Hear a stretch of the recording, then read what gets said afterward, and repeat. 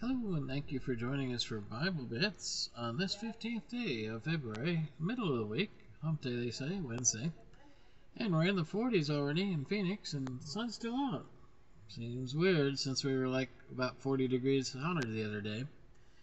Well, you know, we will not be all that amazed at all those in hell because that's what we all deserve. There's no none righteous, no not one.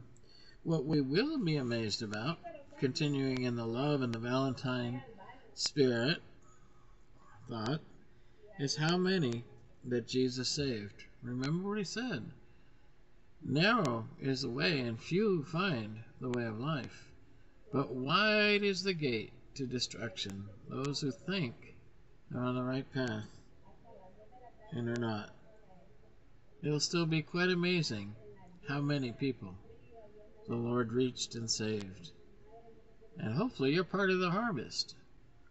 The big question is, are you saved? That's a question you need to ask yourself and come before the Lord. Don't wait about it.